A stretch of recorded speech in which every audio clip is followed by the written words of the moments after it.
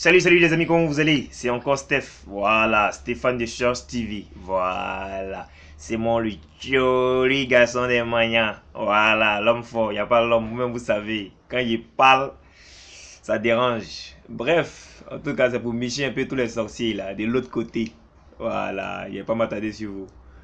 Bon, mes amis, abonnés, famille, tous les internautes, en tout cas, merci de vous abonner. Continuez de vous abonner, ça fait plaisir. Vraiment, merci pour le soutien.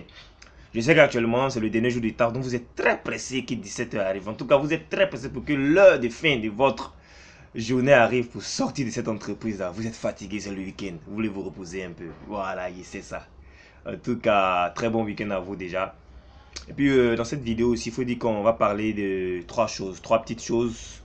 Surtout les emplois en Côte d'Ivoire, les amis. Les emplois en Côte d'Ivoire. Si vous n'avez pas partagé cette vidéo-là, aïe, aïe, aïe. Et puis dit vraiment merci à, au grand frère Caris. Lui, on sent qu'il aime vraiment euh, notre DJ Arafat. On sent qu'il aime beaucoup DJ Arafat. Donc, euh, j'ai adoré vraiment son message à l'endroit de notre artiste DJ Arafat. Voilà. Et puis, euh, les fans de Belgique, les fans de Belgique, les fans de Belgique, c'est ce 5, hein. C'est ce 5. Si vous avez Zaï, voilà, moi, il m'enlève dans votre affaire. Il parle plus des fans de Belgique. Juste pour que je compte sur vous. Je sais que vous allez casser la baraque. Donc, ça, c'est pas un problème. C'est ce 5000 là, hein, des Bordeaux vient vers vous. Ok, bon. Voici ce dont je veux parler même. Ça va, c'est de ça que je veux parler. Les emplois en Côte d'Ivoire. Aïe, aïe, aïe. Ça fait pitié, hein, les gars. Vous qui êtes sur le Euro, aux États-Unis, en Europe, vous vous débrouillez un peu dans les petites aussi, ça sort un peu. Mais nous qui sommes ici, c'est chaud, hein. Tu es allé à l'école jusqu'en... Tu as combien de diplômes? On te donne même pas la chance de faire un stage. Et lorsqu'il y a des offres d'emploi où tu as toutes les compétences qui sont même en relation avec ton profil que tu veux postuler, tu vois 5 ans d'expérience, 3 ans d'expérience, 10 ans d'expérience, 15 ans d'expérience. Franchement, je trouve que c'est abusé. Même si dans un État, c'est euh, l'État qui doit être le plus grand pourvoyeur d'emploi, franchement, le, privé aussi, vous devez quand même... Euh, encourager l'État. Franchement. Parce que si ce n'est pas les concours là, franchement, le, taux de chômage euh, en Côte d'Ivoire va continuer de grandir. Hein. parce que vous abusez, les amis. Franchement, vous abusez. Vous abusez. Parce que nous qui avons la chance de faire certaines tâches dans de grandes entreprises, là, franchement, on va voir. On ne dit pas que l'entreprise est facile. On ne dit pas que l'entreprise tourne facilement. Mais je suis en train de dire simplement que si vous donnez la chance à certains jeunes de faire les preuves, vous ne serez pas dessus. Parce que on est dans l'entreprise, on voit.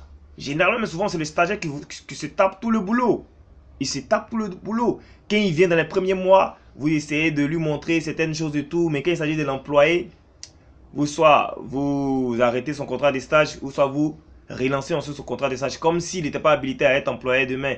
Comme s'il n'était pas aussi habilité à avoir un numéro CNPS. C'est pas gentil, les amis. C'est pas gentil. Si vous montrez à quelqu'un voici mon entreprise, voilà dans le domaine d'activité que mon entreprise fonctionne.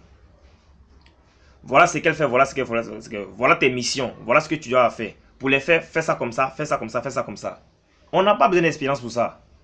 Parce que mine de rien, la, partie théorique que nous avons fait là, si vous mettez, vous mettez quelques mois de formation dessus, on vous fait le boulot propre, sans problème même. Donc franchement, ce côté-là, revoyez ça. Revoyez ça. Parce qu'il y a beaucoup d'incompétents dans vos entreprises. Vous le savez.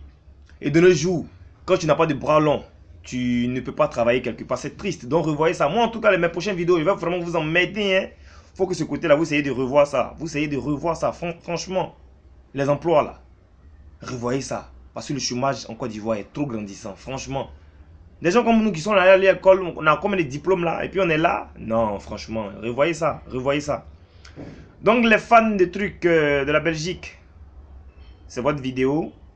C'est vrai que je voulais m'attarder sur les entreprises, mais c'est votre vidéo. Déplacez-vous massivement. Déplacez-vous massivement, car c'est sur 5000 là. Et puis au euh, grand big au grand frère Caris. Voilà, quelqu'un qui s'est fait tout seul. Quand je dis tout seul, je vais dire c'est quelqu'un, il n'a pas besoin de jouer les lèche-bots pour être là où il est. Voilà, le seul qui a tenu tête à Bouba. Et puis jusque là, il tient toujours. Donc respect à toi, Caris. Euh, ciao, ciao. Que Dieu vous bénisse.